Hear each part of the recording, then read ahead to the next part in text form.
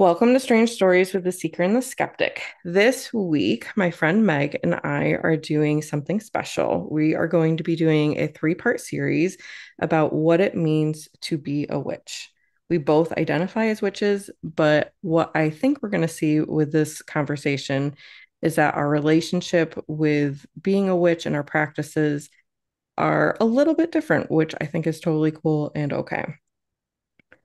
So, when I first did a Google search for what does it mean to be a witch, the first two answers that came up on my phone were pretty interesting. So, the first thing that showed up on my phone from the Merriam Webster Dictionary definition of a witch is a witch is a person, especially a woman, who is credited with having usually malignant supernatural powers. So, that was the first one. And then the second one was the term witch has multiple meanings, including a practitioner of witchcraft. A witch is someone who practices witchcraft, which is the use of supernatural or occult powers to cause harm to others. So, Meg, what do you think about those two definitions? Oh, I think it really resonates. Um, sort of the historical villainization of the feminine. Um, mm-hmm and I don't even mean that to just be gender specific, like just feminine, oppressed folks who don't really have power but are threatening because they know things and they they're able to manifest or heal or nurture in a way that those in power couldn't. Mm-hmm.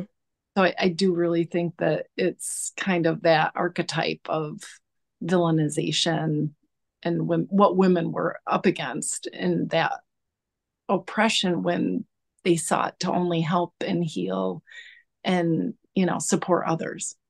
Yeah. I think it's crazy because it's like the witch trials and what some call like the burning times. This is we're talking like the 1500s right. dating back to that. We're in 2024 yeah. And that is still how witches and witchcraft is being viewed. And I, I think you're right in terms of yes, there were some men who were killed, but like the it was 80% women. Yeah. During that time who were, you know, tried and, you know, hung or burned for being witches. And it just, you know, it's like they were used as scapegoats for anything that was going wrong during that time. Absolutely and you know within all of those assumptions then and how they carry over now it builds a sense of hierarchy of mm-hmm. you know i mentioned the word power obviously it's power but it's also that feeling of at what point do we acknowledge that we can't have male without female we can't have power without empowering people you know and mm-hmm. even leadership what we're seeing you know it's like okay this is something that really has been oppressed and really toted for a very long time hundreds and thousands of years yeah. Yeah and i feel like we still see that. I mean obviously like those google searches those are the first things that come up when you search what does it mean to be a witch? But we're still seeing that in popular culture you know there's a, a lot of and, and there's shows that i enjoy but they still have this kind of negative portrayal of witches and you know working like um the chilling tales of sabrina right? I i enjoyed yeah. that show but it's like you know they're making a you know a covenant with the devil uh, the dark lord you know? The horned god yeah. Yeah exactly. All what that really represented back yeah. then no. Yeah. So, how would you describe for you like what it means to be a witch? Okay. I I do feel like it it really means communing with nature, being in a position where you can see even scientifically where energy comes from, what our source energy is.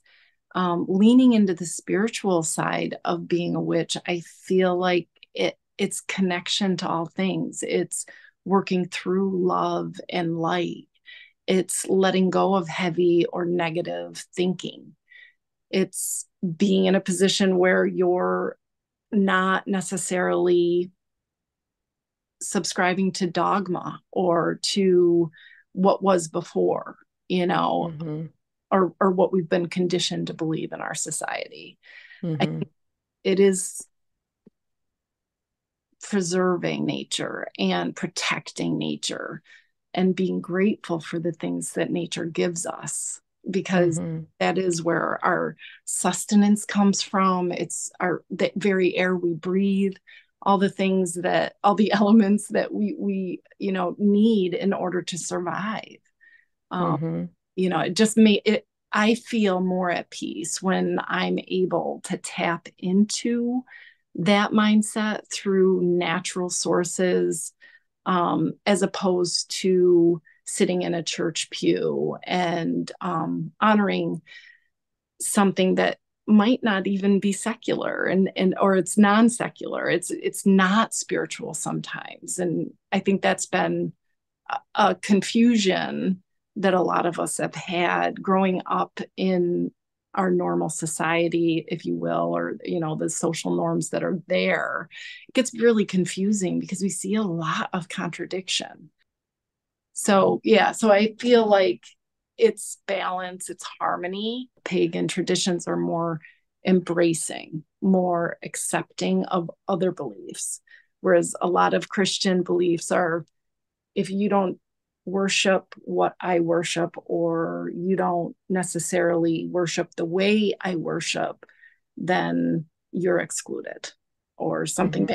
that happened to you, you know? Yeah yeah i mean i love what you said about like just being like in tune with nature and connected with nature um we did ask people to kind of send in like their points of view about what it means to be a witch and a lot of them had talked about that um one person tony who's a ddpy friend he said it is an appreciation for the cycles of change that nature goes through throughout the year and how it that affects our life to be in tune with the natural energy out there, which I think is a lot of what you were saying. Yeah. Absolutely. Yeah. And it is. It's, I think that when that happens, you have a feeling of connection to your earth, mm-hmm. oh, a sense of belonging. Yeah. I like that. For me, how I think about it is being a witch is about empowering yourself and using like what you said like that connection to that divine source kind of my knowledge of like how energy works you know within me and around me to help kind of create the life that I want to lead um and I agree like it being a witch you're honoring nature you're honoring the cycles of the year you're honoring the seasons and living in this very like energy conscious and spiritually guided life. Yeah. Beautiful. Yeah. And it, it is. It's it's all things you know? Mm-hmm. and you know contrary to some of those definitions or you know what it what what you were getting from ai and the internet it really is more of a harmony. It's based yeah. on peacefulness it's based on love yeah. yeah and i don't think that any two people who identify as witches net like follow the exact same path. I think it looks different for everybody. Um, I want to read one person who sent in Amy because I think she highlights that that thought of like everybody's path looks a little bit different. I want to read what she said. So this is from Amy Nelson and she said there are so many different kinds of witches and I want to honor that diversity. When I say that say what kind of witch I am, if there are comparisons to other branches of the craft, it's not in a negative way. Every path, every culture, every person has their own culture, their own passions, and their own needs. These three elements are unique for each person, so the kind of witch that we are is equally unique. By saying what kind of witch I am, I'm not saying other kinds of witches are not legitimate. I used to identify as a North Norse heathen and still do to a large degree. I still bear the title, I think, Volva but I don't want to be limited to a certain time, space, and people group, not to mention the issues surrounding Viking culture. I'm not heathen because of Vikings. Despite the depths of my roots in that tradition, I have a passion for that certain certainly, but it isn't my deepest identity as a witch. Even more than the heathenry is my animism. My form of witchcraft is to be very, very earth centered and very focused on the ancestors and beings other than gods. I feel a need to ask permission of the earth when I'm gathering herbs or stones, and I believe she and her spirits answer back. I am the kind of witch with her hands in the dirt and feet in the waters. I want to see and hear and feel all the life around me, to sink into and become part of it. I long to commune with the spirits of earth, to learn healing wisdom for body and soul of mankind, animals, and earth, and to know that someday I'll take my place among these spirits to share what I have learned as one of the unseen. Witchcraft is dirty, messy, beautiful, filled with joy and sorrow. It can be a very lonely path as people don't who don't understand what you are about become fearful. Some may push you away. At the same time, you will start to find people who can understand and embrace you little by little. Resting in this role is teaching me a lot about personal courage and responsibility, teaching me the power of the tongue and the will, and more than I had ever known possible before. Nice. I got chills reading that, and I've read it before, but mm-hmm. It's perfect. It is perfect. Yeah. And I love he highlights the different path. That yeah. because I mean, there I mean, think about it. We are all chemically different. Mm-hmm. Have had different experiences, you know. So yeah. sense that we would interact with a vibration or an energy differently. Definitely. You know, on to different things, you know. So I think that's the beauty of it too, is that there's so much to these practices. Yeah. You, know? you could never yeah. learn it all. Yeah. You know, and again, what she's describing is just beautiful practices of just worshiping nature. And I've always said, um, nature is my church. Yes. I feel the closest to the divine when I am outside in the woods, surrounded by the trees or by a beautiful body of water, like, and just feeling that earth's energy. That is when I feel closest to spirit. Same, same. And, you know, I used to go to church, and I remember going through some times in my life when I just couldn't see myself in that building and mm-hmm. Decided I was going to go in nature instead. And that's exactly what I f- you feel, I think. When and and it's the mother of all things. It, it's mm-hmm. it is it's literally given birth to us as our human form. You know, like this is where we get all of our our energy, but also it's where we come from.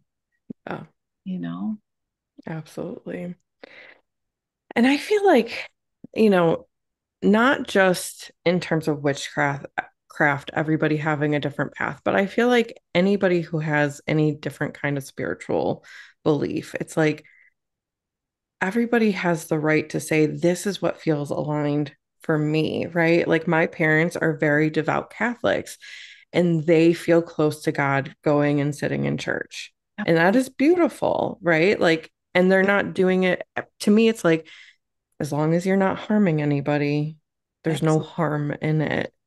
Absolutely. And you're right. I mean it there there's there are magical moments mm-hmm. in religion and yeah. and spirituality that should be, you know, that most people feel when they're there. Yeah. You know, I do honor that. Absolutely. Yeah. Absolutely. So how would you say that you practice being a witch? So, similar to what we were talking about, very oftentimes it's going to involve nature. Um, and I, you know, I I also think that if if it's not involving nature, it still is because it's going to involve those elements. Mm-hmm. So, um, I feel like my practice oftentimes is very much looks like self care. So, you know, I do have daily things that I do. Um, and I think it's important to see magic in everything, you know, to sort of have that childlike awe and playfulness within your practice, you know, of, I wonder what I'll see if I go in the forest today. And mm-hmm. the symbols and the, all the correspondences come flooding in, you know, and realizing that I'm receiving some kind of a message. And I know we talked about that on the last podcast we did together, um, where you're receiving messages and signs of something bigger than you. And to to let yourself be in awe of that. Mm-hmm. You know? um, but I also believe that you can manifest. So I do a lot of manifestation. Um, depending on what time, you know, what phase the moon is in, I try to honor that. Um, and just pay attention to the the wheel of the year. All the things we'll be talking about in this in our podcasts in our episodes. But i feel like that is um, grounding. I feel like it helps me to have structure to my practice. Um, i love working with other people who have similar but very different beliefs than i do so that i can learn and you know I, I just feel like it's the kind of thing where if I haven't done anything, any ritual or anything that feels like I'm grounded in the craft, I start to feel a little bit unwell. you know, I, mm-hmm. I kind of feel off and you know like i haven't done anything for myself lately and and that that is i, I feel like the craft is something that i do for myself it's a gift that mm-hmm. i give mm-hmm. Yeah. And I love Meg and I have like a coven of two. and I love it because I feel like you have a lot of like different knowledge that I don't have. So it's like you're kind of like sharing some of the, the things that you've learned along the way and just kind of helping like expand my own like beliefs and practices and stuff like that. And um Meg has made uh Hexenspiegels, I can say it finally, which are yeah. just these little like mirror charms that is like a protection, kind of like protecting energy, like sending it back to the person, you know, that you're receiving it from. And let me tell you guys, I wore it one time to Walmart because I had to go at like two o'clock in the afternoon. Like the entire parking lot is full. And I walked in and out of Walmart so regulated. Whereas, like, typically, I, because I'm an empath, I'm really sensitive to energy and there's just a lot going on at Walmart at two o'clock in the afternoon. Um, that I was like, man, this works. Oh, that's great. And yeah. I also learned so much from you, Brittany. I mean, I love our time together when, um, you know, we sh- were able to sit down and, you know, kind of create, co create things yeah. and forage and, yeah, really I've learned so much from you as well. And yeah, you get, yeah, wear don your your your witchy garb. Yeah. Eagle or you yeah. know, definitely your pentagram. I love it. Yeah, for me, I, I love the tools of witchcraft and the practices and like the like the like you said, kind of like almost playing with energy. Like when you're crafting a spell, it just puts me into this very like magical vibration. And it's like exciting and enchanting. And to me, I do have the belief that I could probably manifest all of these things without the tools, but the tools just enhance the experience for me. It makes it more fun. It gives me like focal objects to kind of like channel my energy into or some of the tools will help kind of align your energy you know based on like what what they're kind of vibrating at so absolutely. I'm the type of person i'm like i don't think the tools are 100% necessary i just enjoy using them. Agreed. And and i i feel like on that no, you know the representation and i almost bring it back to like tarot that like you know the pen, pentacles and the cups or the you know the cauldron. Yeah. You know, everything kind of has a symbolic meaning so that to me it's intention and if i believe that my wine glass is the chalice or my my candle is the fire you mm-hmm. know it doesn't take a lot to recreate those tools you yeah. know a wand can just be your finger. yeah. Something, some elaborate thing, although yeah. Surrounding yourself with those things, like you said, can be fun and it can help you to experiment with different tools. And mm-hmm. always an important process to learn what works for me. Mm-hmm. Yeah. Yeah, definitely. So another person sent us an email. Her name's Kat P. And she said, For me, being a witch means I'm fully embraced my true and authentic self, which I love that. I agree with that wholeheartedly. My practice is mostly focused on tuning inward, manifesting a better version of myself, and I'm forever a work in progress. In turn, this changes my perspective of my environment and the energetic field that surrounds me. There's always inner work to be done, always something more we can learn. I have a connection with nature and plant spirits. I leave offerings for my ancestors, house, land spirits. One of my favorite simple daily practices is enchanting my coffee. I'm interested in many different forms of divination. I'm attuned in Reiki, although I haven't had the opportunity to offer professional services to the community yet. Reiki has changed everything for me. Each attunement brought major shifts in my life and my consciousness for the better. I love mm. it. That's, I agree wholeheartedly with all of that. To me, it's like so much of being a person who wants to consciously manifest your life has to do with your internal work of just like coming in, meeting your shadows, helping those those parts of yourself heal so that you can align with that better version and with your most authentic self. So I'm here for all of that. And Meg and I are both Reiki masters. So we definitely understand and value the power of Reiki for sure. Absolutely. And yeah, and I mean, you know, I think about crossover too because we're both therapists as well. Mm-hmm. And Carl Jung, like like mm-hmm. shadow work, you know, there yeah. was there wasn't any part of his work that didn't require a person to do that inner reflection, you know, something's activated within me and it's block it can really block our energy or distort it, you know, and yeah.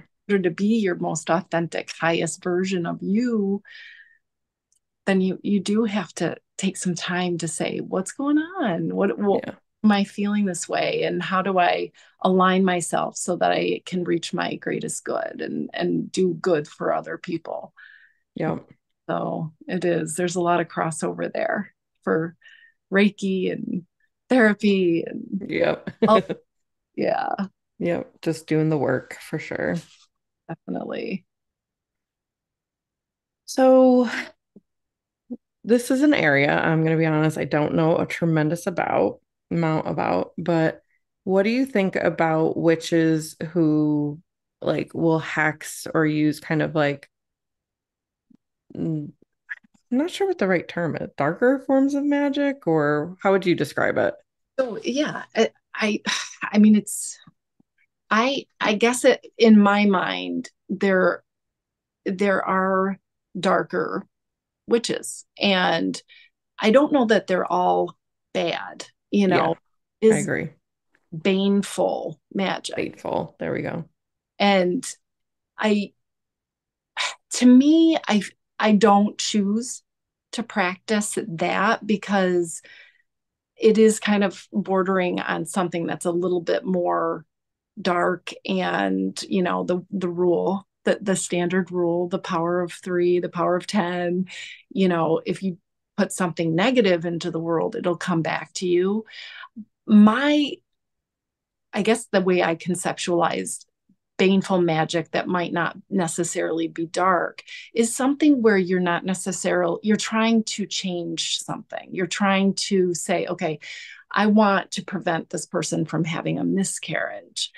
But you know for instance but which is a lovely beautiful thing to do for somebody you love or a friend you know that you care about obviously but it's also kind of omits the is that what's meant to be though mm. and you know i think we can kind of get into something where we might prevent a miscarriage when really in nature's way that might have actually been a better outcome for the mom or for the the the, the newborns you know that something wasn't right so i do think i like to stay more on the the whiter side or the lighter side of magic in terms of not necessarily trying to orchestrate an outcome that's specific and may not be for the greatest good.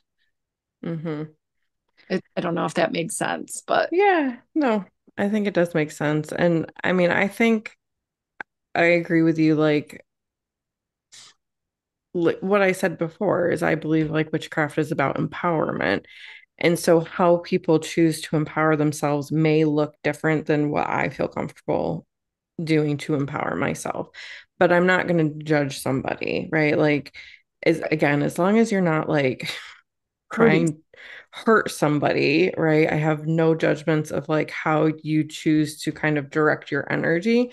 But I agree with you. I do believe like what we put out comes back to us like the world is our mirror reflection, right? And so the mirror I want to look into is one of love and light and peace and abundance and prosperity and you know good things not just for me but for for everybody out there you know? So I do kind of align more with the lighter side but I just like what we were talking about like doing shadow work like there might be some like kind of dark negative connotations with your shadow but we need our shadow and we need to embrace our shadows. And so I don't think that kind of like existing in a darker space is n- necessarily a negative thing. It just kind of has some negative connotations. Absolutely. I agree. And I, I, I absolutely feel the same way. If if you're using magic in a way that might hex or hurt someone, you know, you're really bordering on something that might not serve you. It's it's yeah. darker place. And like if you do the shadow work, you do tend to come back into the light and you do kind of have that ability to manifest for yourself a better feeling, a better vibration. Mm-hmm. And, you know, at the end of the day, I mean, you talked about the Hexenspiegels. I feel like that using a, a mirror to reflect the light that you want into the world is better than putting yourself in a position where you're absorbing something yeah. you know? So i do for sure. really think that you know and again there's folks who practice more baneful magic and do it successfully and they're they're fine eh, you know they appear to be you know very healthy and okay so i i don't judge that but if i heard about someone you know trying to purposely hurt someone i wouldn't that yeah.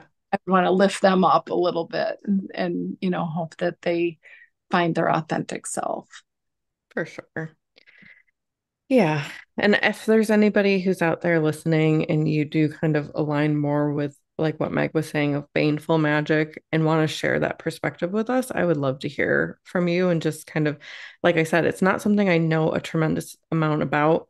The things I know about are the things that just speak to me. And so if it's like something resonates with me, I investigate it more or I lean into it more. And so the other things I just, I don't have as not uh, as much information about. Exactly. Yeah. Just because we're not drawn to that doesn't mean that is bad. It's wrong. Yeah.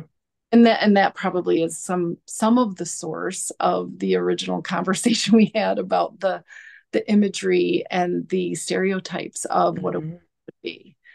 Yeah. Yep. Oh. Yeah. Yeah. I mean, I think I'm glad that we're doing this because I feel like there's a lot of misconceptions out there about what it means to be a witch. You know, people who are not educated will, you know, believe like witches are worshiping the devil. And I think for the majority of people who identify as being a witch, they don't even believe in the devil, right. you know? so, exactly. So no, I think there's there's dark and there's light you know, but definitely there isn't, you know, some kind of subscription to we're going to make a contract or a pact with something right. diabolical or evil. Yeah. Yeah. Yeah. We're not, you know, summoning demons or anything like that. We may be trying to connect with our ancestors or spirit guides. For me, I like to connect with angels, which I don't believe Christians get to hold the monopoly on angels. I believe that they are for everybody, you know. So I I think that um there's there's a lot more to it than what is kind of portrayed and has been portrayed for the last, you know, hundreds and hundreds of years, unfortunately. Absolutely. Agreed. And I just want to talk briefly about a book that I've been reading. It's called Heal the Witch Wound by Celeste Larsen, and I will link that in the show notes for you guys. But it's really interesting and it talks about kind of the history of, you know, um, witches being persecuted and all of that. And, you know, signs that you might have a witch wound. And, you know, so it's like things like hiding your practices and your interests out of fear of being judged. So, like being in the broom closet, that has been, I know that we've both had that experience before. And even just as recently as a couple weeks ago, I had people coming into my house when I wasn't going to be here. And I had before, like, I had a, a book on witchcraft, like on display in my bookshelf out in my living room. And I took it down because I was worried about people seeing that and like judging me for that. So I'm like, I very much still do have that witch wound. Um, you know, and it's not like me identifying I identify as a witch is not something I've ever actually said in front of my parents before. Yeah, you know? absolutely. That and I yeah, I share in that, you know, um it's interesting because we are both therapists, we both, you know, are licensed professionals and want so much to be able to do both to be able to have an all inclusive, more authentic approach to our lives and be very open about that, our spirituality. Not that I would ever bring any, any form of religion into therapy or really vice versa, but it is that I, I am a whole person. And it, it does seem there have been times when I have been fear based about would that be accepted? Mm-hmm. Would that hurt me somehow if people realize that I'm a practicing witch and I'm a therapist? You know, yeah. I mean, definitely had that. And even, I mean, I'm very open in my home, but you're right. I have to consider who's coming into my home because not everybody feels comfortable with the idea of a witch. You mm-hmm. know, trying to figure out how to explain something so that it doesn't necessarily feel threatening to someone. Yeah. you know that that stereotype it's it is interesting to to find myself as i've evolved to be more open about it. You yeah. know and you know my family is really embraced it and they're very welcoming with it but and I celebrate different holidays. I celebrate everything, you know, I mm-hmm. beliefs, but they definitely, I, you know, they gotten to the point where they're like, hey, you know, happy Samhain. oh, that, you know, I'm celebrating um, based on those hol- high holidays as well. And yeah, that's good for sure. Yeah. I feel like my parents are coming along too. Um, when I was a teenager, I had like secretly bought Silver Ravenwolf's like Teen Witch book and I had it hidden and my mom found it and she was like, "What is this?" and I was 13. I didn't have the words to explain it to her like that it wasn't evil or bad. I just tried I tried, but like I wasn't like I wasn't able to explain it well enough. But my mom will now say things like, "We got to put that out to the universe." you know, or like um my sister's kind of gotten her into like noticing signs like repeating numbers and you know she'll in the the family group chat she'll be like you know i keep seeing 333 what does that mean? You know so my parents have come a long way in kind of expanding from like the very traditional you know, Catholic dogmatic point of view to like being a little bit more accepting that there is more out there and it's okay and it's not evil or anything like that. Right. I love that. That's great. Mom's looking for numerology. she is, right? Well, and I mean, even we did summer, we did a summer solstice, you mm-hmm. know, ritual or kind of spell here. Um, you know, where we like we we release by burning things and then we planted new seeds and my mom participated in that, you know. So yeah. Was, yeah. It was everybody just sort of opening up and allowing that side of themselves to yeah. to hold yeah. And i just you know something as i was like preparing for this something that keeps coming back to me is like christians don't feel ashamed to say that they've prayed about something. Sure. So why should witches feel ashamed to say i cast a spell right, right. like to me it's not really all that much different. We just maybe have some more tools and some more steps involved that are based in nature. Right. Us. I mean, we're not using anything that is not necessarily already occurring, you yeah. know, scary. Um, yeah. but we do, we practice very much the same within our meditations or manifesting things. That's that's prayer. Yeah spell, rituals. I mean, there's not a religion out there that doesn't have a ritual. Exactly.